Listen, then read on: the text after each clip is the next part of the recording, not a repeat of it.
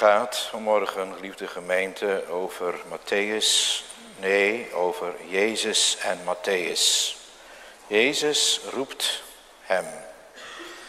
En Jezus leidt hem of onderwijst hem, kun je ook zeggen. Want als hij je roept, dan ga je dingen leren. En Jezus troost hem en die mensen die bij hem in huis waren. En ik hoop dat het met u ook zo het geval zal zijn.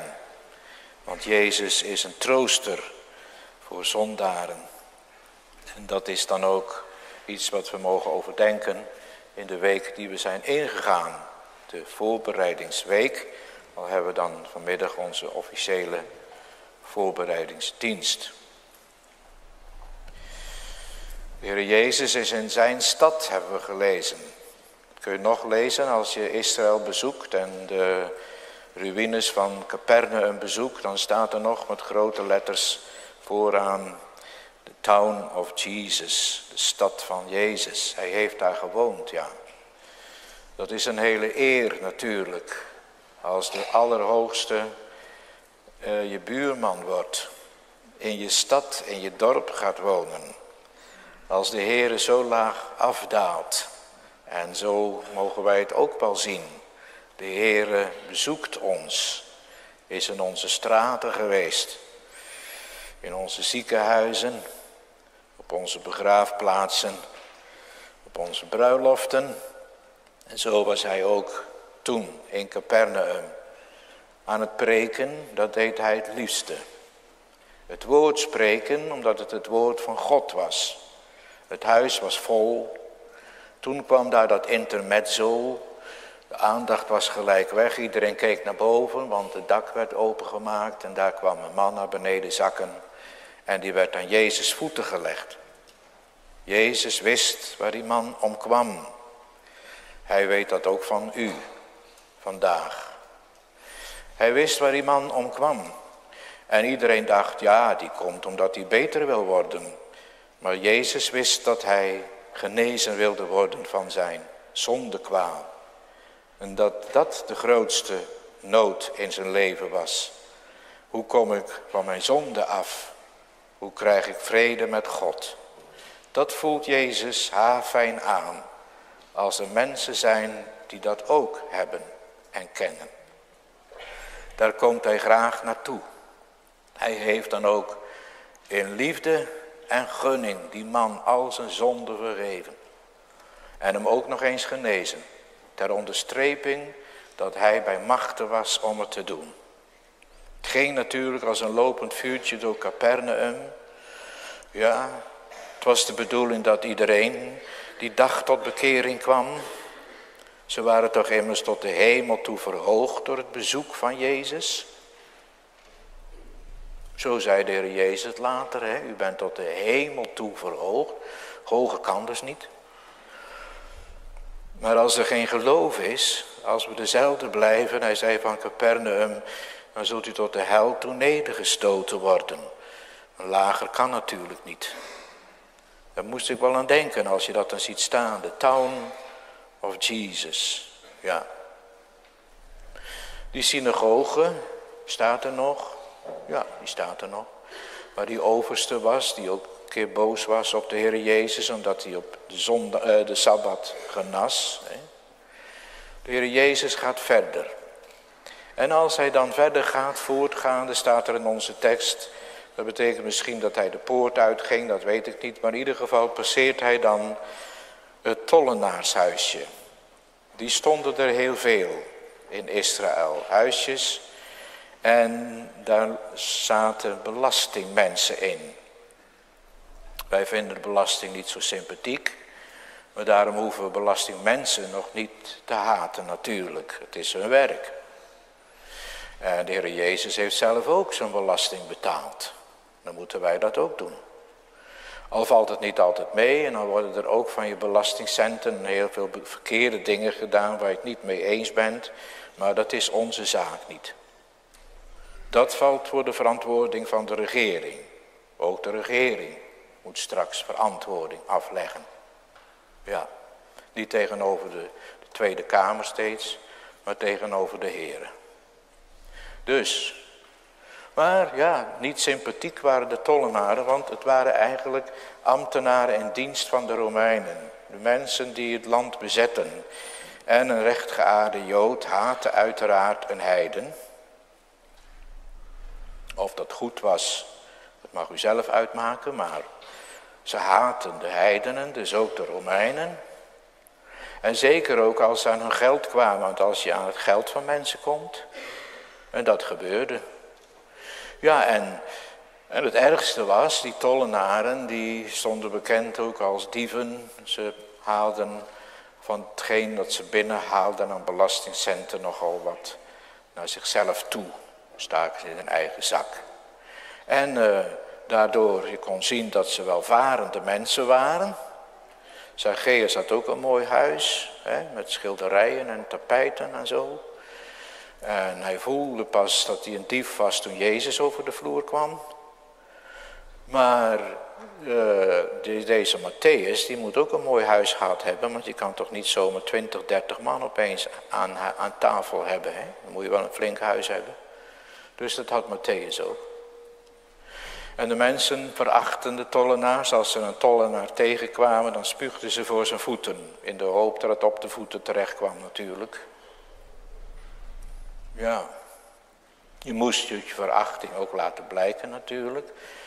En je spuugde op de vloer, op de, op de, op de stoep als je langs zo'n huis kwam. Ja, dat vonden ze heel normaal.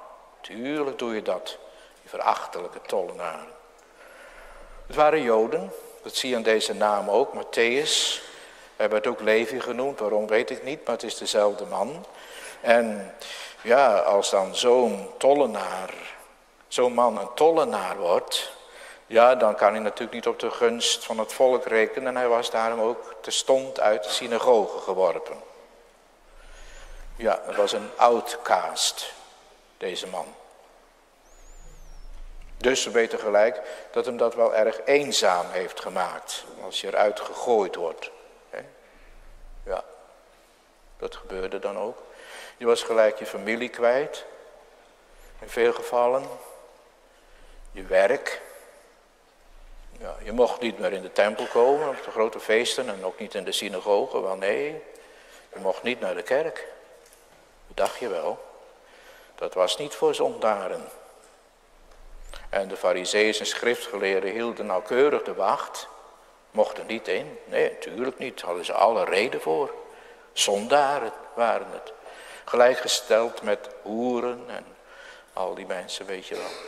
Nou. Ja, het waren wel eenzame mensen. Er is veel eenzaamheid in de wereld. Het kan ook je eigen schuld zijn natuurlijk. Maar als het niet je eigen schuld is, eenzaamheid is een van de ergste dingen, denk ik. Zou het niet? Een christen, en we mogen ook zeggen een gemeentelid, een lid van Bethel, hier in Sliedrecht, mag nooit eenzaam zijn. Nee, als iemand eenzaam is, dan is dat een aanklacht. Ja, daar let de Heer wel op. Hè? Ja, daar let de Heer wel op. Mag nooit iemand eenzaam zijn. Dus, dan weten we het, hè. Maar goed, deze man, die zat daar. En als er dan iemand uh, kwam betalen, dan, uh, dan stak hij soms wat in zijn eigen zak. Ja, zo'n man. Nou, ik zou hem eigenlijk ook niet moeten, zo'n man. U, geen sympathieke man. Nee, geen echte Jood, een soort NSB'er. Ja, wij wisten vroeger op Urk precies wie NSB'er was geweest. En sommige jongens schreeuwden, NSB'er, als ze hem tegenkwamen. Wij mochten dat niet van mijn moeder, maar deden ze wel. Ja, deden ze wel. Ja. Dat maakt je eenzaam natuurlijk, hè. En Jezus voorbijgaande zag een mens in het tolhuis zitten. Mooi hè? Je moet de Bijbel nooit vlug lezen, altijd langzaam. Dan kom je de mooiste dingen tegen. En Jezus die voorbij ging, zag een mens in het tolhuis zitten. Ja, nou ja, dat, die, die zat er elke dag, dus uh, Petrus zag hem ook wel zitten. Maar de ogen van Jezus en de bedoeling van Jezus, als je dat van hem leest, is anders. Hij gaat niet voorbij. Hij komt wel voorbij, maar hij blijft staan. En hij gaat naar het loket. Matthäus schrikt misschien een beetje. Uh, ik denk dat hij Jezus wel kende, want iedereen kende hem en het hele dorp sprak vandaag over hem. Hè. Die lamme man die huppelde nou rond door de straten van Capernaum, dus ik bedoel dat was bekend. Iedereen kende hem.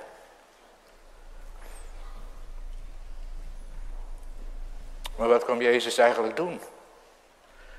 Kwam hij uh, belastingaangifte doen?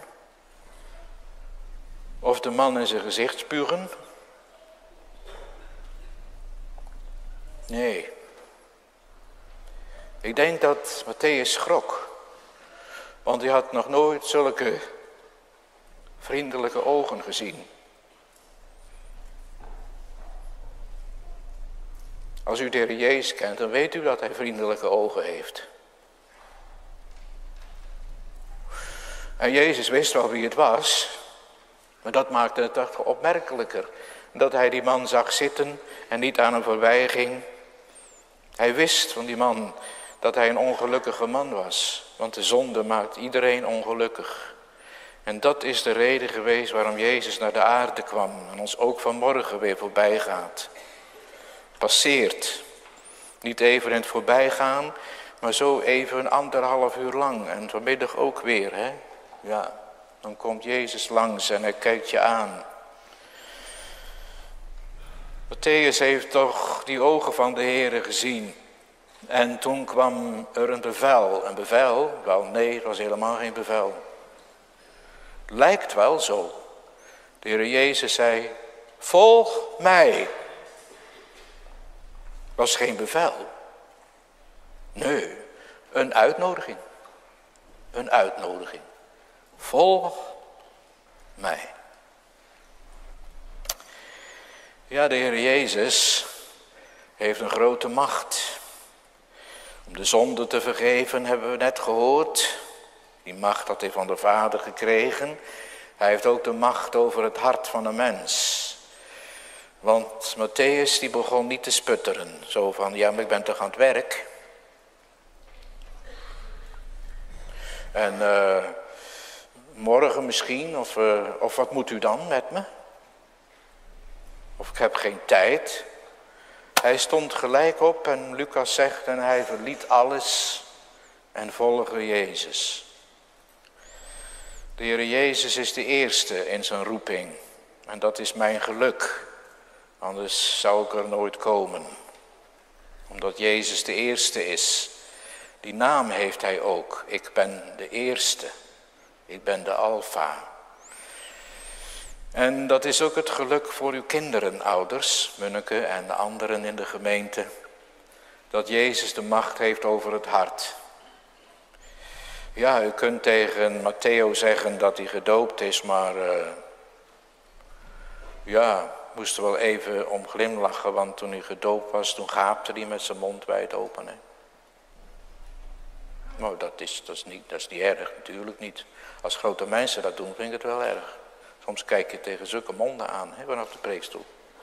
Hand voor je mond als je gaat, maar liefst niet gapen in de kerk. Nee, maar uh, ja, zo'n kind. Dus dat betekent dat kind weet van niks. En tot zo'n kind komt nu de Heer. Ja, tot zo'n kind. Zo'n lief klein uilskuikertje. Die van niks weet. Komt de Heer. En welmenend hoor. Welmenend. Ja, echt welmenend. Nee, wij spelen soms spelletjes met de kinderen, dat doet de Heer Jezus niet. Dat hebben we vorige week ook gehoord. Hij is wel lief voor de kinderen en hij zegent ze en omhelst ze. Maar spelletjes spelen, dat mag u met ze doen. Maar de Heer is altijd serieus. Hij heeft vanmorgen al gevraagd, volg mij. En het is uw taak, ouders, om dat duidelijk te maken dat het de Heer was die tot dat kind kwam, al heel vroeg. Er wordt soms wel heel wat van gemaakt. Van de week las ik het nog ergens, Dat een dominee uh, vertelde dat Matthäus uh, iemand was die heilbegeerig was. Ik lees er niks van, maar dat zei die dominee. Waar hij dat vandaan haalde, weet ik ook niet. Maar uh, uitziende naar verlossing. Nou, zou kunnen, maar uh, zoveel van die mensen kom je ook weer niet tegen. Dus ik weet, het staat er in ieder geval niet. Nee. Maar het, er wordt vaak wat van gemaakt, alsof Matthäus daar zat te wachten op de Heer.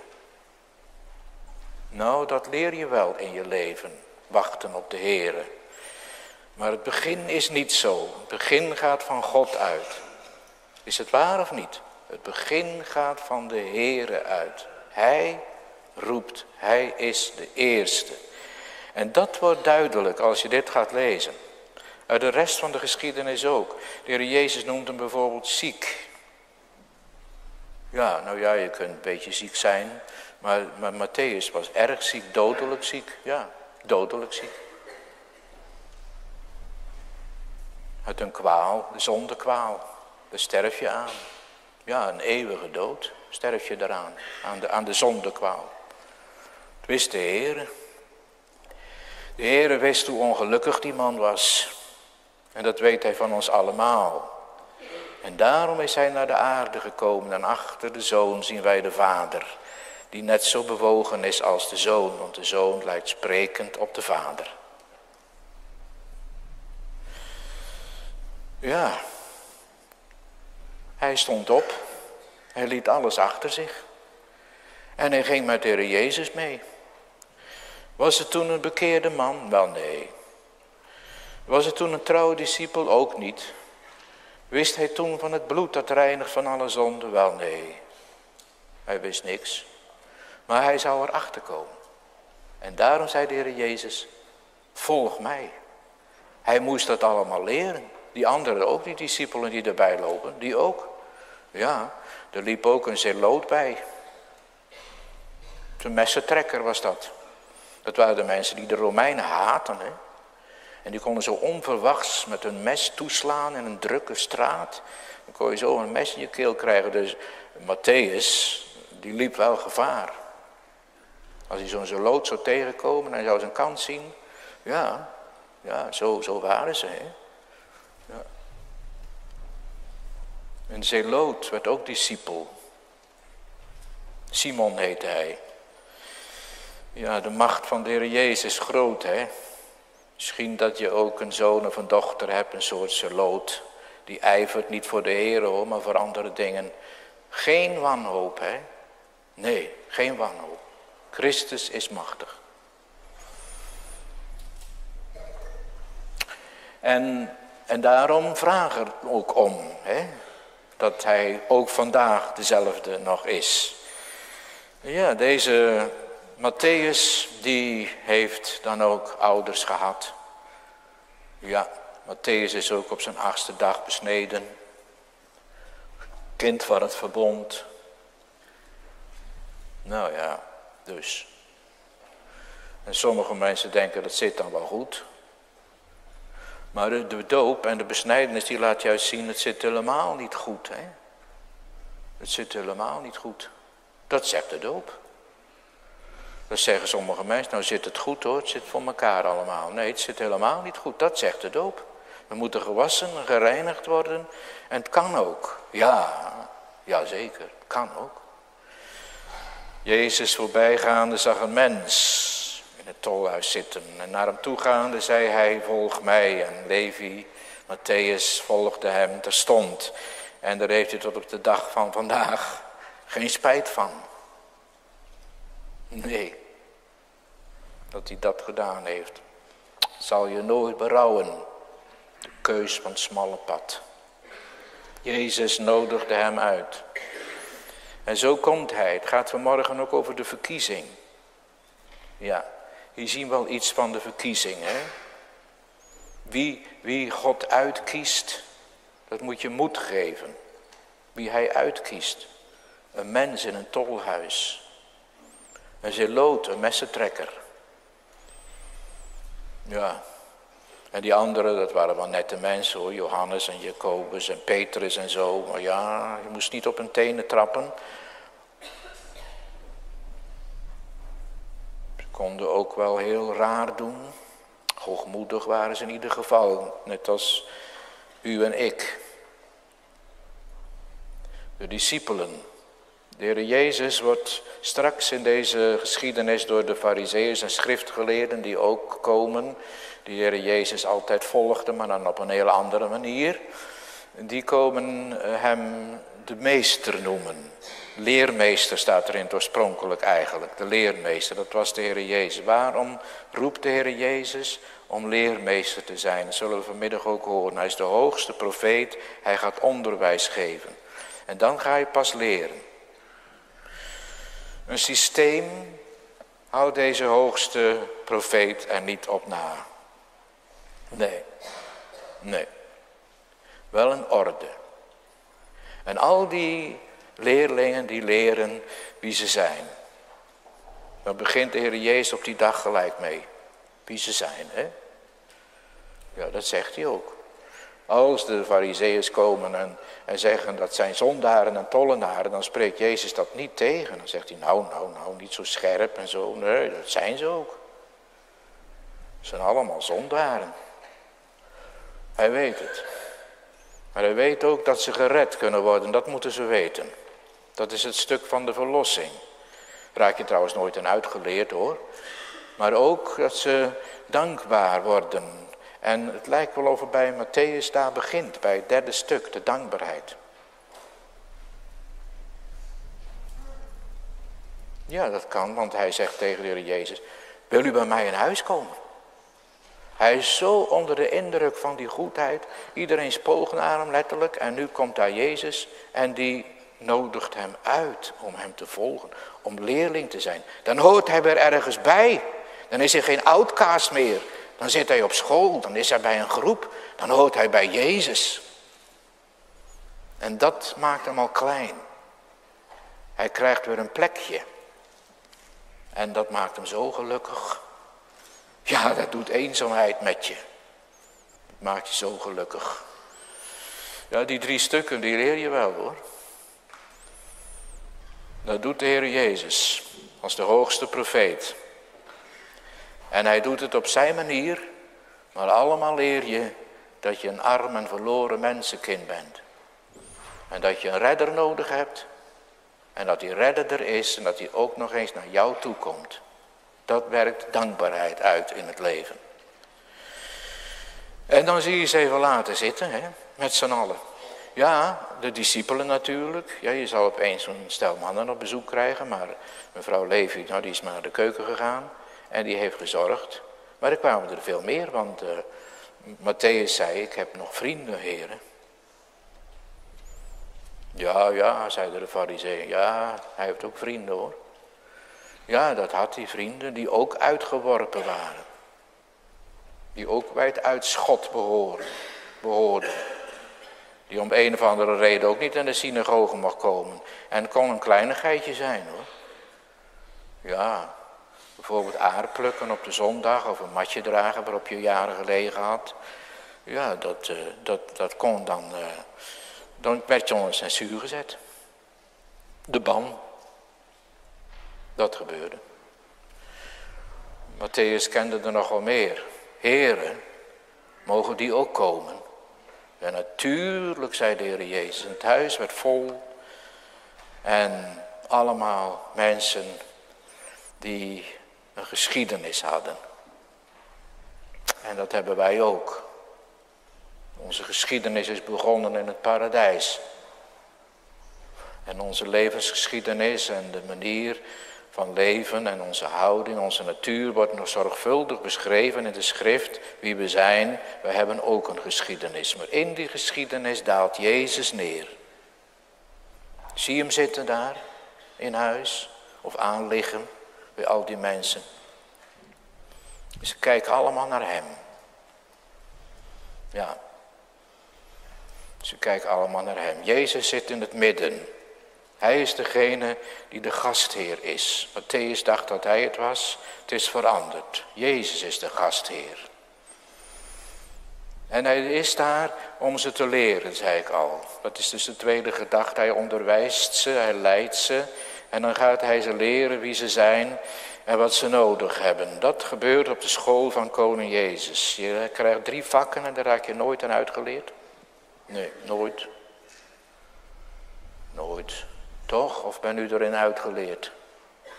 In hoe groot uw zonde en ellende is.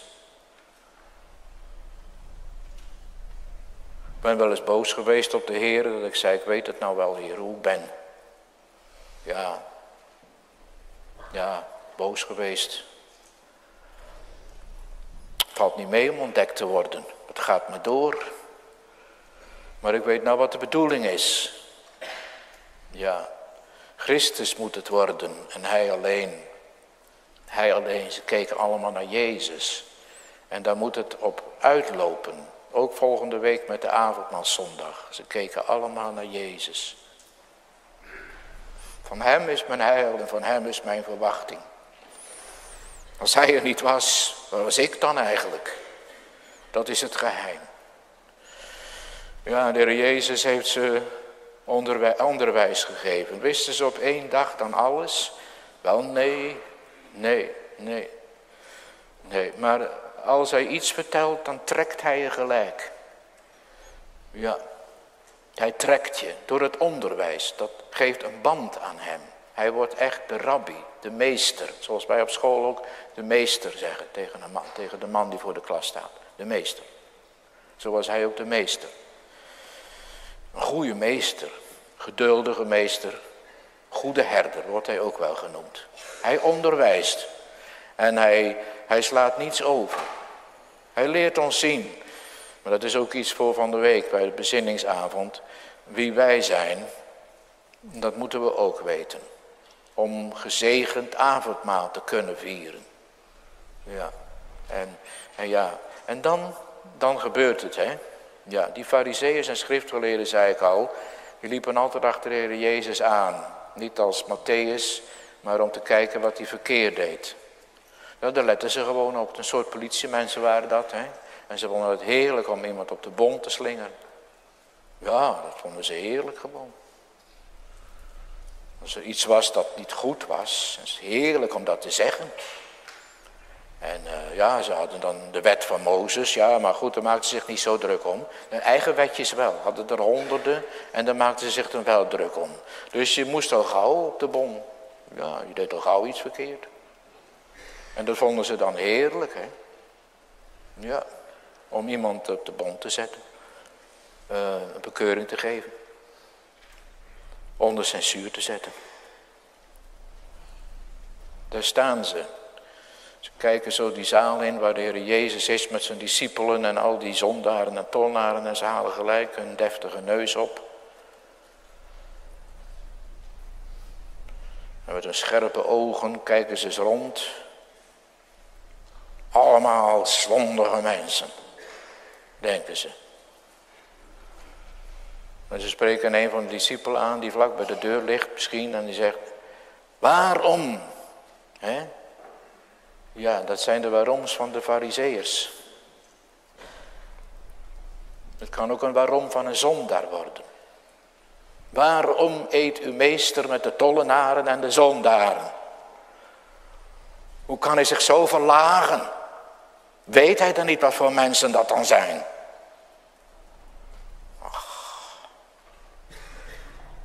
Ja, de discipelen schrikken natuurlijk, want ja, voor die mensen kon je bang zijn. Dus, uh, maar Jezus hoort het ook. Net zoals vorige week, toen die ouders berispt werden door de discipelen, hoorde Jezus dat ook. Die hoort alles, hè. Die hoort het. Dus die kwam erop af. En toen kwamen die hele bekende woorden, die beroemde woorden zou ik zeggen. En Jezus, dat hoorde, zeide tot hen, die gezond zijn, hebben de medicijnmeester niet nodig, maar die ziek zijn. De Heer Jezus zegt hiermee dat hij daar aan het werk is als een arts. Ja, dat is hij ook. Een arts. Iemand die geneest. Van de grootste kwaal kan hij genezen. Dat, dat heeft die man die nou door de straatjes van Capernaum huppelt, heeft dat ondervonden. Hij heeft me gered van de dood, van de zonde, van mijn ellende, van mijn schuld. Daarom huppelde hij zo. Maakt je echt blij. Ja, die man was ook ziek naar het lichaam, maar ook ziek naar de geest. Genezen door de Heer Jezus. En de Heer Jezus die zegt dus met deze woorden tegen die fariseërs dat deze mensen allemaal genezing nodig hebben en dat hij daarom daar is. Hij is aan het werk hoor. De Heer Jezus op aarde gekomen om te werken en de zondag is ook zijn werkdag. Vandaag werkt hij ook. Wij zitten lekker, maar hij werkt. Ja, hij werkt. Dag en nacht. En wat werkt hij dan in het zondagshart? Hij werkt het allerheiligst geloof. Hij werkt er naartoe dat zondaren hem nodig krijgen en gaan huppelen door de straten omdat Jezus gekomen is op de aarde en ons niet voorbij ging, maar nog naar ons on wilde zien in zijn gunst. Hij is daar aan het werk, ja. Het is ook eigenlijk een heel ontdekkend woord naar de fariseërs toe. Want hij zegt die gezond zijn, nou in het algemeen is dat natuurlijk zo. Als je, als je gezond bent, dan ga je naar de dokter morgen. Dan denk je, nou, hoeft niet hè. Denk, je denkt geen eens aan die dokter morgen, als je naar je werk gaat. Ja, maar als je opstaat met pijn in je rug, is het eerste waar je aan denkt, oh de dokter. Moet naar de dokter. Ja, dan, dan voel je dat. Deze tekst wordt ook wel gebruikt in de discussie over inenten, ja of nee. Het heeft er eigenlijk helemaal niks mee te maken, want de Heer Jezus zegt gewoon dat er helemaal geen gezonde mensen zijn. Dat we allemaal de gevolgen van de zonde val dragen. En dat ziekte niet tot de mogelijkheden behoort, maar tot de realiteiten. En dat we ons ook in dat verband moeten gebruik maken van de middelen om niet ziek te worden. Ja, toch? Ja.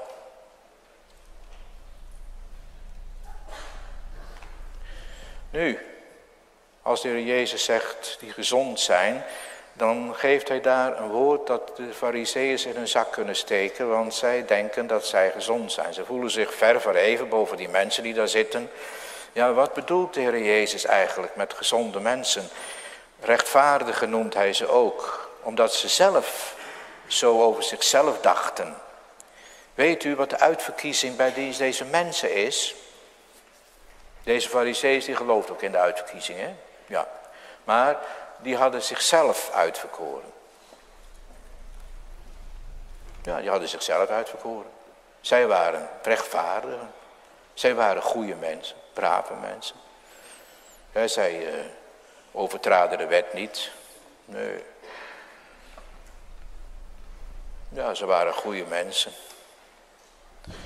En dat betekent gelijk als ze dat echt geloofden, dat ze ook blind waren. En dat zij ook nodig hadden om op school van Jezus te komen zitten. En hij geeft ze toch even hier een lesje.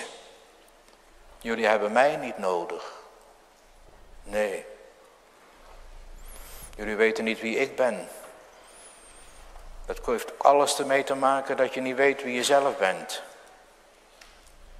Jullie zoeken een eigen rechtigheid op te richten. Terwijl je een gevallen Adamskind bent. Ken je de geschiedenis dan niet? Ken je het werk van de Heilige Geest dan niet? Ja, de Heer Jezus geeft ze wel een lesje hoor. Rechtvaardigen zijn ze in eigen oog. Je moet juist een goddeloze worden in eigen oog. Is dat zo? Ja, dat is zo. Daar zorgt de Heer Jezus voor. Dat die mensen echt gaan voelen, ze hebben nog gelijk ook die fariseeërs en schriftgeleerden. Maar het is wel een wonder. Ik vind het een hele mooie zin, hè? vind je eigenlijk niet? Waarom eet uw meester met zondaren? Het was voor hen een vraag, maar het kan voor zondaren ook een vraag worden. Misschien volgende week weer, Heer, waarom eet u met zondaren? Als je een zondaar bent, je moet het ook worden, dan wordt het ook een vraag. Waarom, heren? Waarom ziet u naar mij om? Dat heb ik helemaal niet verdiend, omdat ik een zondig mens ben. Petrus zei het, ga uit van mij, ik ben een zondig mens. Nou, Jezus ontkende dat niet hoor. Hij ging niet bij hem vandaan, nee, hij bleef juist. Jezus loopt niet weg bij zondige mensen, wel andersom. Zondige mensen lopen heel vaak bij hem vandaan. En dan nog, ook nog wel eens omdat ze beseffen dat ze zondige mensen zijn. Maar ja, ze willen dat niet erkennen en ze willen ook niet breken en zo, weet je wel, met de zonde. En uh, niet voor de dag komen zoals ze zijn. Ja, die hoogmoed van een mens, die kan hem zoveel parten spelen dat je het zelfs ermee de hel inkomt. In met je hoogmoed. Een zondaar worden voor de Heer. En weet u, het is een hele troost geweest voor Matthäus en degene die met Jezus aanlagen. Dat is onze laatste gedachte, daar heb ik een paar dingetjes over. Uh, dat de Heer Jezus dit zei.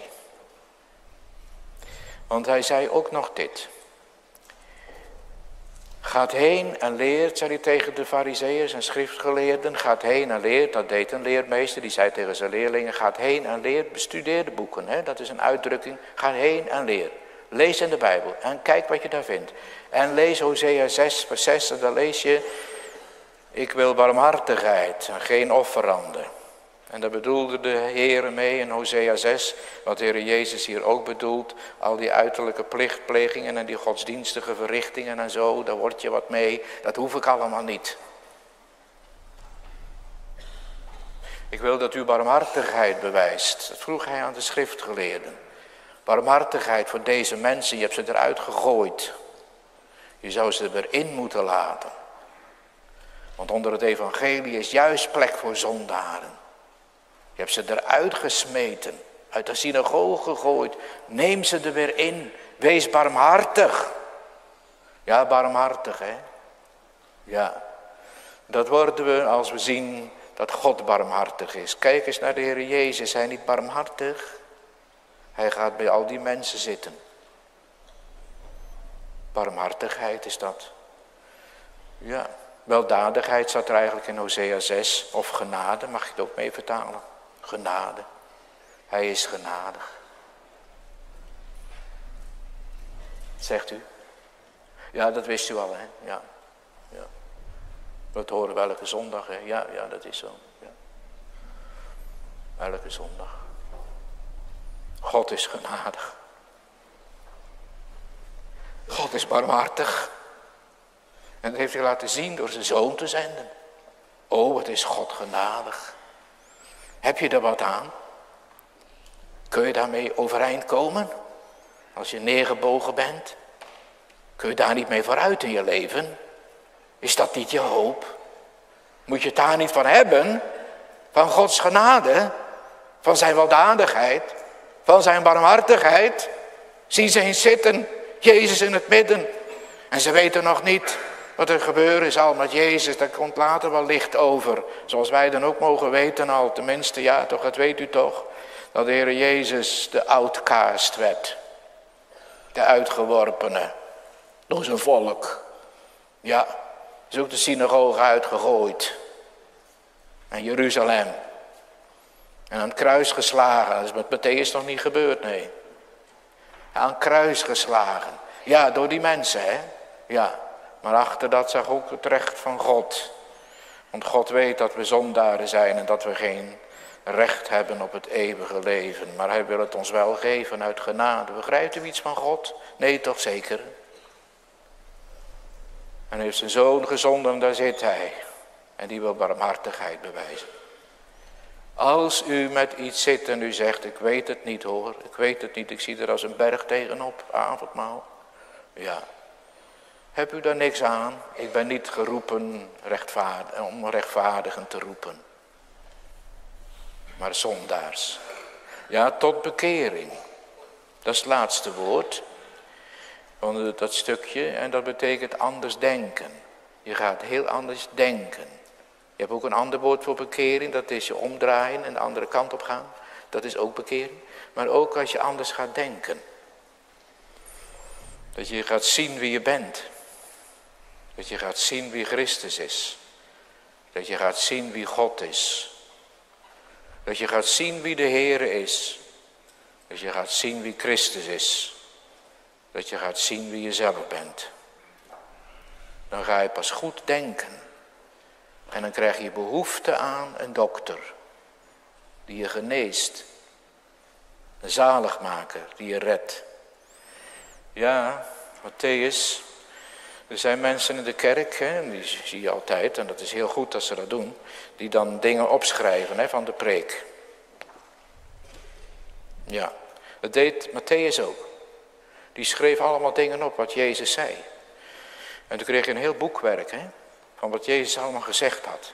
Heeft hij later uitgegeven, een boekje. De Logia noemde je dat. De woorden van Jezus. En er hoorde dit woord ook bij dus. Ik wil barmhartigheid. En later heeft Matthäus dat aangevuld met verhalen eromheen, wat hij dan nog wist, van de anderen hoorde en meegemaakt had. Toen werd het het evangelie van Matthäus dat we hier nou voor ons liggen. Nou, misschien dat u vanmorgen ook een woordje had, wat u opschrijft en meeneemt deze week in. God zegene dat woord. Om Jezus wil. Amen.